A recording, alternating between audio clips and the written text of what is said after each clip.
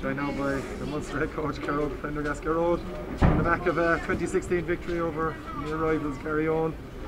May not be overly satisfied with everything that went on in the game, but delighted to get back to winning ways. Sure. Yeah, look, win is a win. You'll take them. Um, you're right. We're, we're not overly satisfied because obviously the manner of of the way I suppose we faded a little bit in that second half where we could have kicked on at 17-6 but listen they're a good side they're a very good side and we knew they'd come back at us and credit to them they did but quite resilient defence there at the end we stood out and we held on so we're delighted with the win Game came back came on the back of two back-to-back losses.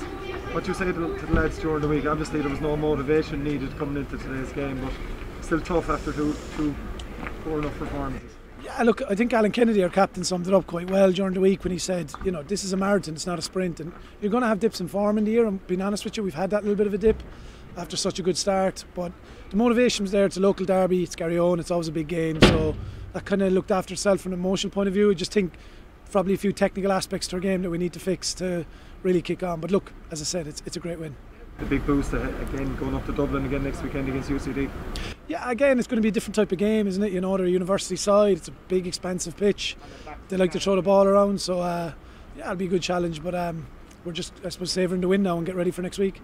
Huge aspect of today's performance as well was the discipline. Has been rightly, wrongly, decisions not going your way at times, but it must be something you focused on the last few weeks well. We've put a huge amount of emphasis on it, yeah, and look, credit to Shane tonight. Thought he had a very good game. In fairness to him, I, I see he pulled his hamstring early in the game, so it was a bit of a it was a tough one for him. He was hobbling there at the end, but he did a great job. In fairness to him, and such a big crowd, a big occasion. I thought he had a fantastic game. So, yeah, from that perspective, we're quite happy. Um, something we've put a lot of emphasis on over the recent.